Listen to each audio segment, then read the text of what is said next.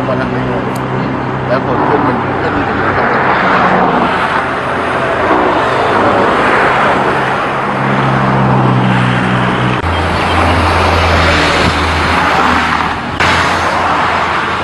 ท่านครับกรณี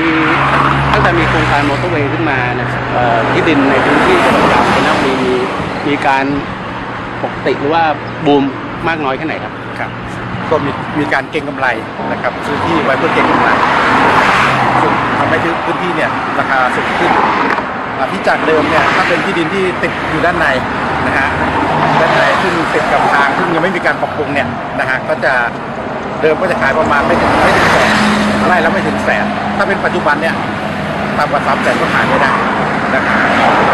ประมาณอันนี้ขึ้นมาประมาณนั้นนะฮะส่วนที่ติดถนนใหญ่เนี่ยนะฮะไร่เป็นล้าน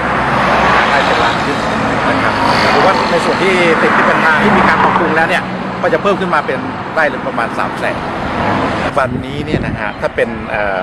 หนองหญ้าลาดหญ้านะฮะหนองหญ้าลาดหญ้าหน้องขาวปากแพรกนะครับปัจจุบันนี้ก็จะมีกรุงเทพนะฮะหรือว่านายทุนเนี่ยมามาซื้อกรุงเทพก็มาซื้อเป็นบ้านหลังที่สอง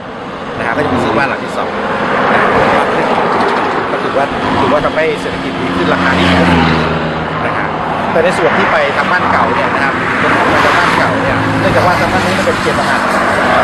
ส่วนใหญ่เป็นที่ราบพัสดุนะครับความเคลื่อนไหวก็จะไม่ค่อยมีนะฮะก็จะมีเฉพาะแค่โอนสิทธิ์นะฮะขายสิทธิ์กัน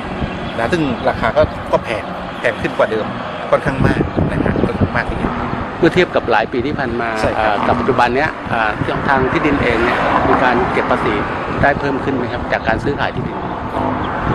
ก็ในช่วงที่ผ่านมานี้คือคือการทำธุรกรรมเกี่ยวกับเกี่ยวกับที่ดินาญจนบุรีนะครับ ก็ได้มีการเก็บภาษีเพิ่มมากขึ้นนะฮะสามสิบถึงสี่สิบเปอร์เซ็นต์ได้ครับจากเดิมก็คือราคาราคาซื้อขายก็จะต่ำนะฮะในส่วนต่างที่จะต้องเสียค่ากรค่าธุรกิจเฉพาะเนี่ยนะก็จะเพิ่มขึ้นถ้าราคาซื้อขายเนี่ยสูงขึ้นนะครับ และก็ราคาประเมินก็อยู่ในเกณฑ์ที่เพิ่มขึ้นทุกปีด้วยนะครับ แต่ว่าราคาซื้อขายที่บริเวณใกล้เคียงกับทาง มอเตอร์เวย์หรือทางที่ตัดทางใหม่ไปเนี่ยไปถึงด้านเก่า ถ้ามีการซื้อขายจะราคาแพงมากกว่าปกติมากครับ ในช่วงหลายปีที่ผ่านมาตรงนี้ในในฐานะเป็นเจ้าที่เนี่ยครับอยากจะฝากเตือนนายทุนอาจจะมาเกี่ยวกับการซื้อขายโดยไม่ถูกต้องหรือว่าอะไรนี้อยากจะเตือนไงบ้างครับเผื่อเผื่อเผื่อนักลงทุนเขาต้องการมาซื้อซื้อซื้อที่แต่เป็นซื้อที่ ไม่ถูกต้องอย่างเงี้ยตรงนี้อยากจะฝากถึงยังไงนะครับให้ตรวจสอบที่ไหนได้ครับก็ก็ที่ทางจังหวัดการเรามีข้อจำกัดเพราะมันเป็นที่ที่อยู่ในเขตพระราชกิจกิจการ2481เพื่อใช้ในราชการทหารนะครับ ซึ่งตรงเนี้ยนะครับ มันจะมีทั้งที่ที่มีโฉนด มีนอสามและนอสามกอและที่ไม่มีใบอะไรนะฮะเป็นที่ที่ประชาชน ตรงนี้ครับจะไม่มีตำแหน่งที่แน่นอนนะไม่มีค่าพิกัดไม่มีระวางเมื่อไปซื้อนะครับ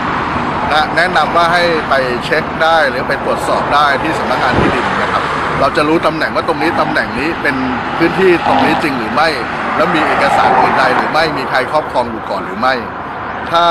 มีการครอบครองมีใครครอบครองอยู่ก่อน หรือเป็นที่สาธารณะเป็นที่เป็นที่ห่วงห้ามเนี่ยเราจะได้จะได้ไม่ต้องเสียเวลาและเสียเงิน โดยไม่จำเป็นครับผมครับก็คือพูดง่ายๆควรจะตรวจสอบไปก่อนนะฮะครับว่าที่ดินเนี่ยเป็นที่ดินที่เป็น